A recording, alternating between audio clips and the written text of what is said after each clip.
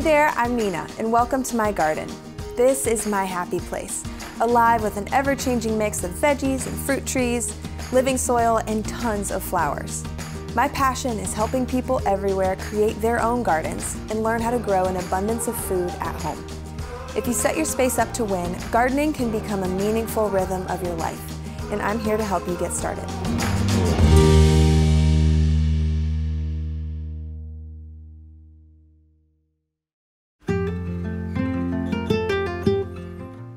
Welcome to the garden, my friends. It is good to have you here because I feel like in this space we can just get inspired and learn together.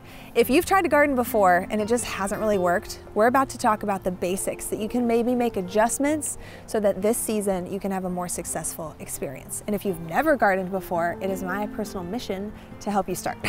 and there are some things that if you get right from the beginning, you'll just love it more. You'll just have a better time because you'll actually get the food from the plants that you plant. So there's a few basics. Number one thing to consider when you're starting a garden is location.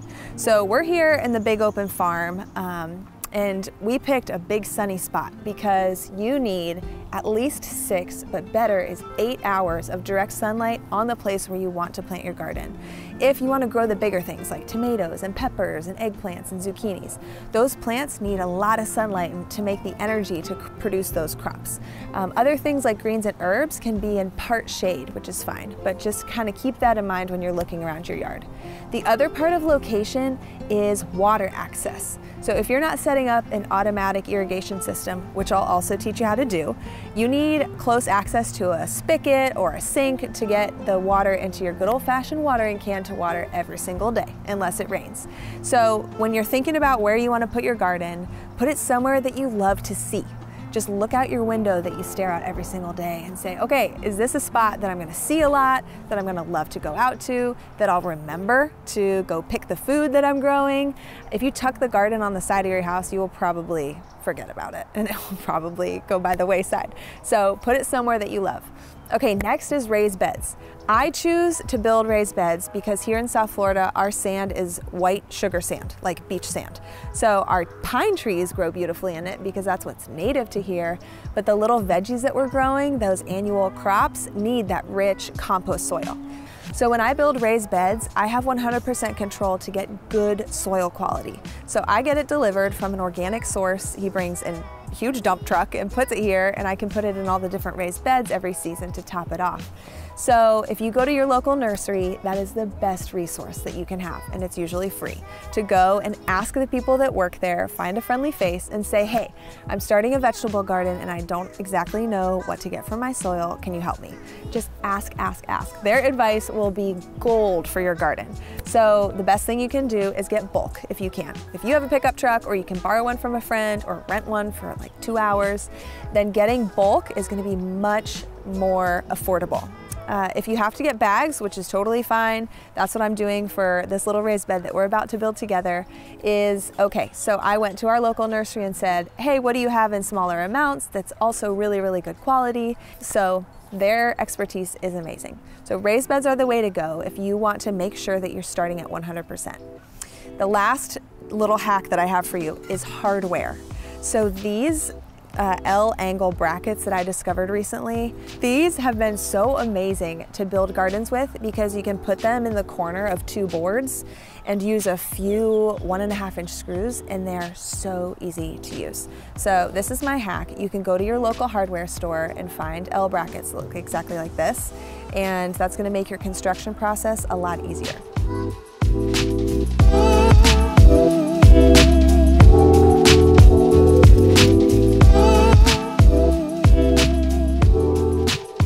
I'm what they call mildly handy.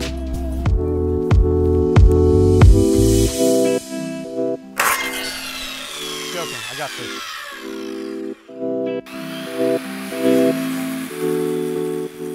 To build a raised garden bed, it's always the same steps. We have tools to cut the lumber here on the farm, but a quick tip is that where you get your lumber might cut it for you, even if it's a dollar or two per cut. Makes your life a little easier once you're in your space. So then we line everything up and put our brackets in the corners. These brackets you can get at most hardware stores and you want them to be about as long as the wood that you're working with to completely secure everything at the corners. Next, layer cardboard really thick in the bottom of your raised bed. This will suffocate any weeds from coming up through your soil and then fill your bed with soil all the way to the top. Last is planting, and you plant whatever you eat the most of. River's favorite veggie is broccoli, so these are six little broccoli plants that she's gonna water and tend to, and hopefully we'll get a big ol' harvest sometime soon.